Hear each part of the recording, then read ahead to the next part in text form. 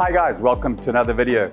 Today we're going to show another product we manufacture in-house and it's basically our fish cooler bag. There's many different bags out there in the world. At the end of the day, it's all about insulation. We use a foam, closed cell foam, very light, and we use quite a thick section. A lot of the cooler bags I've seen are half this thickness.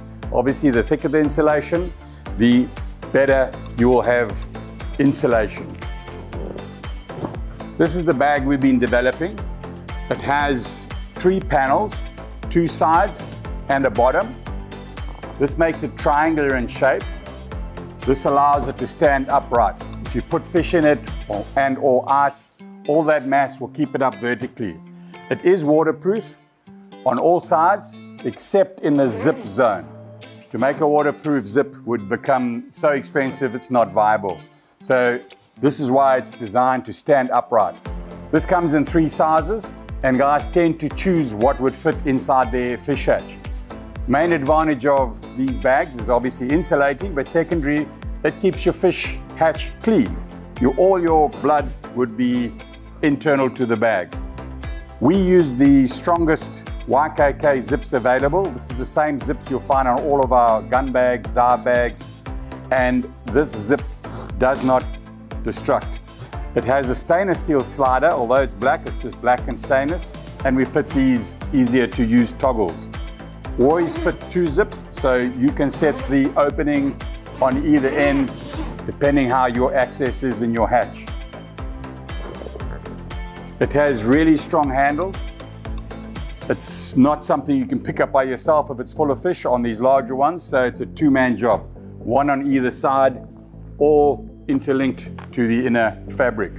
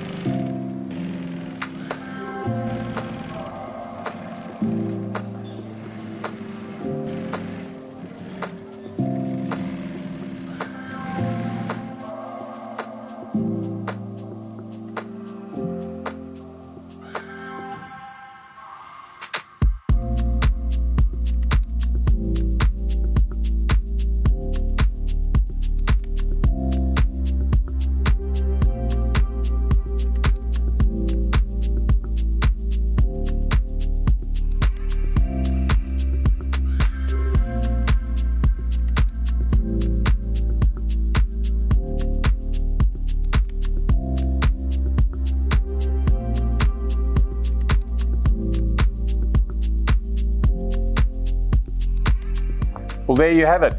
Another product we make in-house.